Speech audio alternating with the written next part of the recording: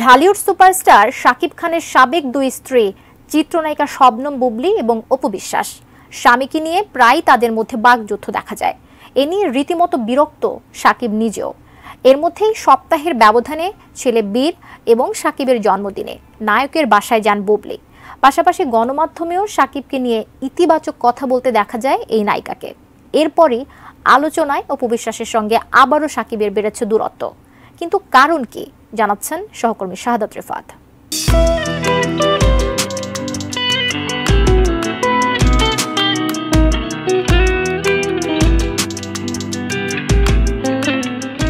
শাকিব খানের নায়িকা হয়ে রূপালী পর্দায় নাম লেখান শবনম বুবলি। বসগিরি ছবি দিয়ে এই জুটির সূচনা। এরপর তারা একসঙ্গে কাজ করেছেন প্রায় ডজন খানেক ছবিতে।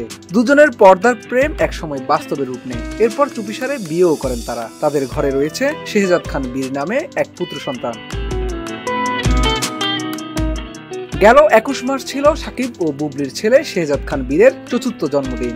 একমাত্র ছেলের জন্মদিনে বীরকে নিয়ে সাকিব খানের বাসায় গিয়েছিলেন বুবলি। সেখানে গিয়ে দাদির সঙ্গে কেক কেটেছেন সাকিব পুত্র। সাকিবের বাসায় ছেলেকে নিয়ে সময়টা বেশ ভালো কেটেছে বুবলির সেটা বোঝা গেছে তার ফেসবুক পোস্টে। এদিকে ছেলের জন্মদিনের একাধিক মুহূর্তের ছবি ফেসবুকে প্রকাশ করে বিষয়টি জানান বুবলি নিজেই। এদিকে বীরের জন্মদিনের ঠিক এক সপ্তাহ বাদেই ছিল সাকিবের জন্মদিন। গেল আঠাশ মার্চ সাকিবের জন্মদিনেও তার প্রতি ভালোবাসা প্রকাশ করেছেন বুবলি। ছেলে শেহজাদ খান বীরের সঙ্গে একই বিছানায় শুয়ে থাকা একটি ছবি প্রকাশ করে বাবা ছেলের অসাধারণ মুহূর্ত তুলে ধরেন নায়িকা। শুধু জন্মদিনের শুভেচ্ছা জানিয়েই শেষ হয়নি। এদিন বাবার সাথে একসঙ্গে কেকও কেটেছেন বুবলি পুত্র। সেই ছবি আবার একদিন পর ফেসবুকে পোস্ট করেছেন নায়িকা, যেখানে সাকিবকে তার ছোট ছেলে বীরের সঙ্গে বসে কেক কাটতে দেখা যায়। কেকটির ডিজাইন করা হয়েছিল বাবা ছেলের ছবি দিয়ে।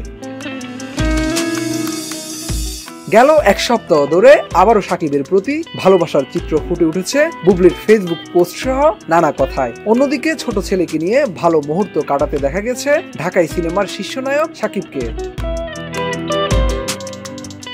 গেল মাস থেকে এই পর্যন্ত সাকিবকে নিয়ে একাধিক সাক্ষাৎকারে ইতিবাচক মন্তব্য করতে দেখা গেছে বুবলিকে। সেটা কলকাতার নিজের সিনেমা মুক্তিকে কেন্দ্র করে হোক কিংবা নিজের কেরিয়ারের কোনো সাফল্য উল্লেখ করে হোক।